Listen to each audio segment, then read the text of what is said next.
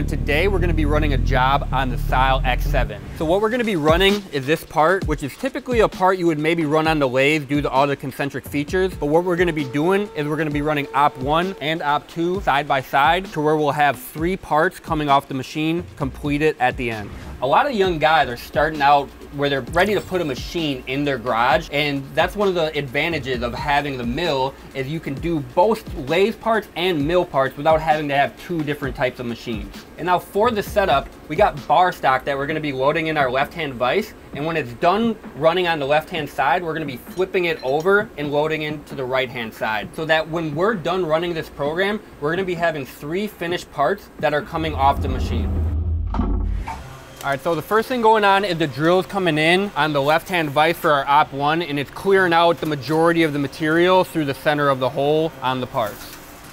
Now after our drill is done, you're gonna see it do a double tool change here. That's because we have a face mill that's considered a large tool in this machine, so we're gonna have to keep a pocket open on each side of it.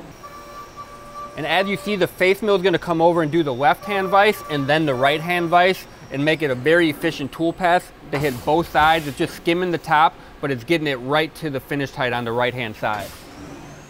Then our 3 8 end mill is gonna come in and it's gonna rough around the outside of the material, doing an adaptive roughing pass, getting the majority of the material removed away. And then after the adaptive pass, it's gonna come down and ramp around it to kind of finish the boss on the material.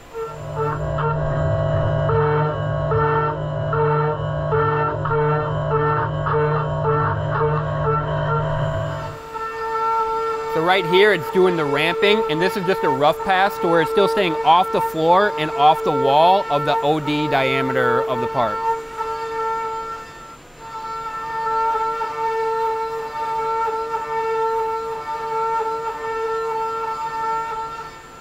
The tool is going to full slot down around the bottom of the part, but it's going to stay off the walls. This is so that the chamfer can get done on the back side of the hex on op 1 so that when we flip it over on op 2 and complete the hex, we'll have a fully finished part.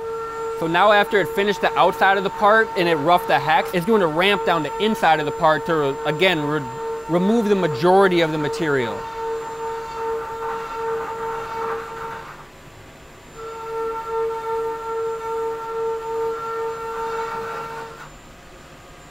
So once it gets done with the ramping, it's gonna finish doing the ID for our thread mill and then it's gonna go down and rough and finish the one inch diameter bore that goes through the part.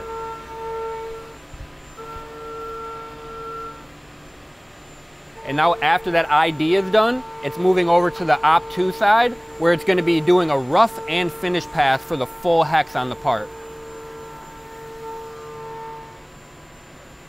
We also offer other type of machines like EMCOs and YCMs, which are gonna give you five axis capabilities, which are a great alternative to a SYIL once you're at that point. Just reach out to Keith at titansofcnc.com and he'll be happy to answer any questions that you have.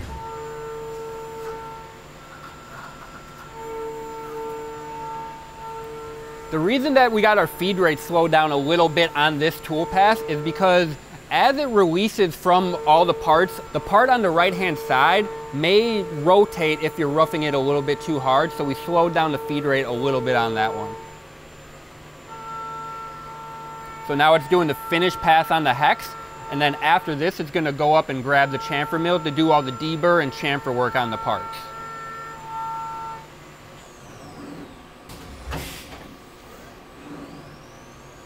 So it's gonna start with chamfering around the bottom of the hex. So we're getting that backside chamfer on the hex, and this is going to finish right now. Now after that hex, it's going around and doing the OD chamfer, and then it's gonna move on to the inside and do the ID chamfer and the uh, chamfer for the thread.